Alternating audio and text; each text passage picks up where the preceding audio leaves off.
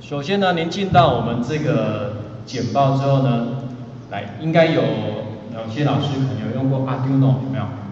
哎，有的也许有用过这个 Arduino 的。那不管你用哪一个，这两个是不大一样，好，不大一样。Arduino 部分呢，它基本上都要接线，好，都要接线。不管你是用 Scratch 或是它专属的开发程式，它其实最后都要经过一个烧录的动作，把它的程式写到晶片里面去。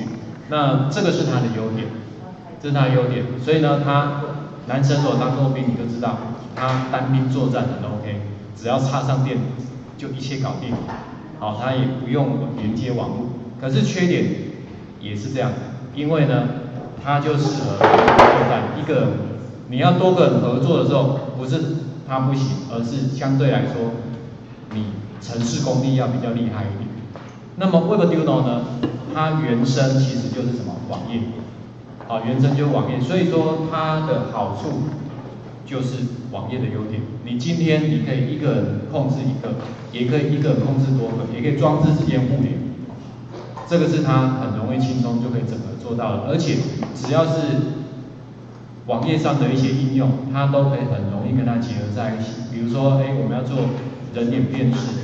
我们要做这个 AIoT 所谓的人工智慧的部分，它也可以。那它本身呢，不用安装软体，只要透过浏览器，好，就是透过浏览器记录它的云端服务，你就可以去编辑这些城市内容，那又可以去控制，好，去控制到我们这个实体的东西。所以它并没有所谓的写入城市的动作，完全是在什么 Web 上执行。所以呢，今天老师您接在。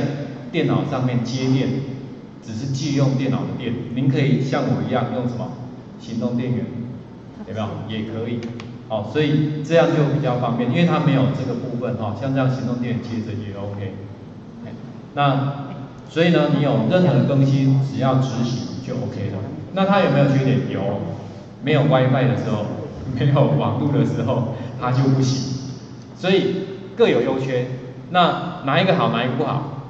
要看老师你需要的情境是什么，好，您就可以自行去选择。那以我的应用来讲，我比较强调它是在互动的部分，哎，互动的部分其实 Webduino 就可以做很多，就可以做很多。这这个部分呢是相对于 Arduino 来讲，它比较做不到的哈。好，那目前的话呢，Webduino 本身现在有这四个开发版，那当然今天大家拿到的就是第三个这个 Smart 开发版。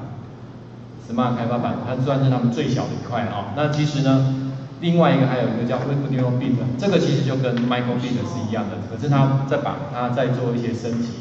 好，像比如说，哎，它的这个灯 MicroBit 的话是单色的，它这边就变成三色 LED 灯。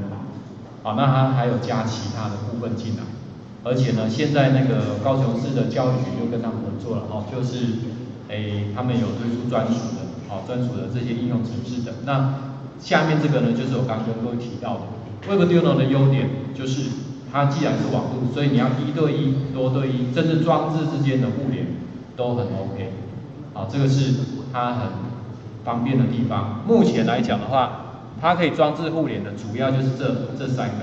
那么 Bit 的部分呢，以后也会加进来，啊，以后加进来。目前使用上，Bit 是还是属于单独。